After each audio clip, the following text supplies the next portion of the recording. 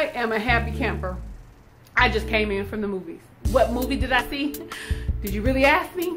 I just saw Tupac Shakur's biopic, All Eyez on Me. Hey, and I'm here to provide you with my review.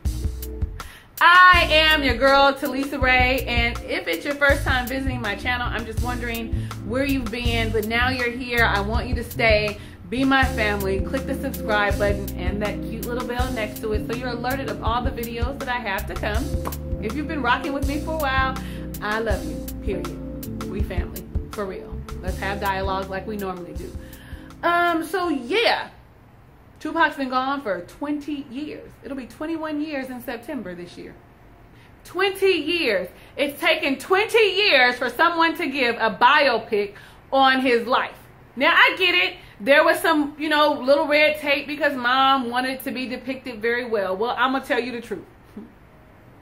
I'm to tell you the truth. I'm glad that Mr. Benny Boom had the opportunity to provide us with Tupac's narrative from beginning to end and fill in all the stuff in between. I am so glad. I am so here for it because everything else is a piece here, a piece there, a couple documentaries, some speculation, and it's not all in one place. Well, here we have it cataloged, his narrative from beginning to end. The plot was amazing. Now, how about this? How about this? We all know what the plot is, but I, I'm gonna be honest. When my friend told me that the hour, the movie was two plus hours, I was like, "What the fuck? I'm, I'm not gonna make it two hours. I'm, I'm not gonna do it. Like, hour and a half, hour forty-five is my tops. Two plus hours? Hell no." Shocked the shit out of me that I was engaged the entire time. Maybe it was the company I kept, but the movie was also just as good. It was spot on. I was really happy with the actual movie and how Tupac's life was portrayed. I was happy with the way he decided to give us his story, the way he decided to walk us through it. And I'm not going to give you that information because that'll be too much of a spoiler alert. But the way he decided to speak his narrative in the movie was very good. I was moved by it. And I learned a lot of things that I didn't really know already. I was shocked as shit for quite a few things. I was like, ooh, really? Are you kidding? Oh, wow.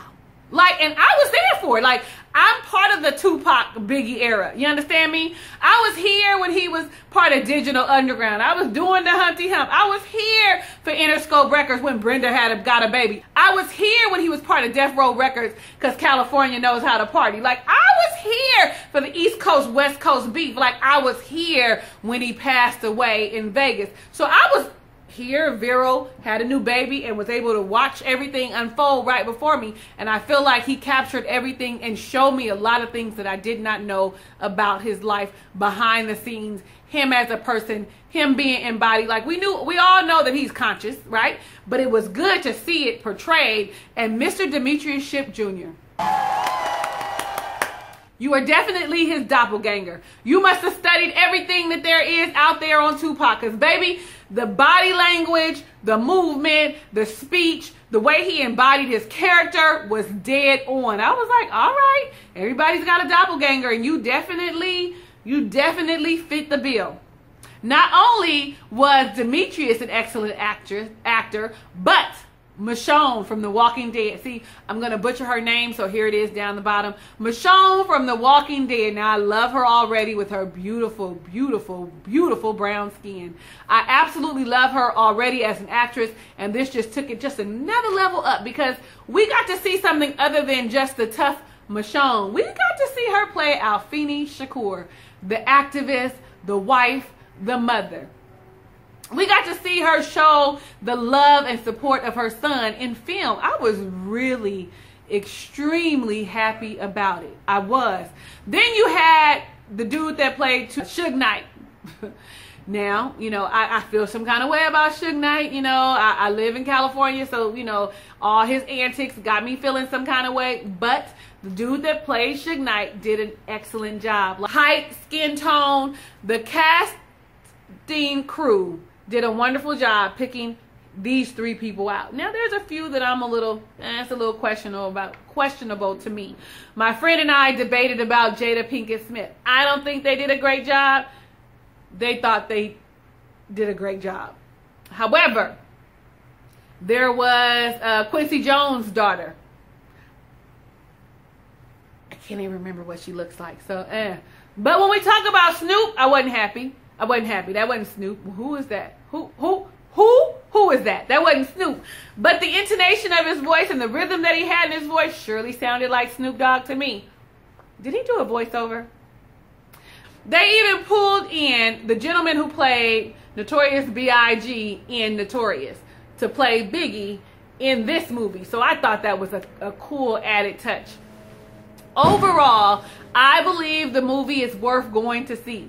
If you're a Tupac fan, go see the movie. If you're not a Tupac fan, go see the movie. While you're going to see the movie, check your ticket stubs. I enjoyed it that much that I would recommend you go see it and provide me with your opinion. Tell me what you think about the movie. If you've seen it already or when you get ready to go see it, come back and tell me what you think. Are you a fan of Tupac? What, what what's your feel about this? Like for me, I'm all like, fuck, 20 years, dude, come on. Come on. I mean, well, it took them a long time to do Biggie's too, but damn, like, do you have to take so long? Like, we, we want to see. Anyway, thank you so much for watching my review of All Eyez on Me.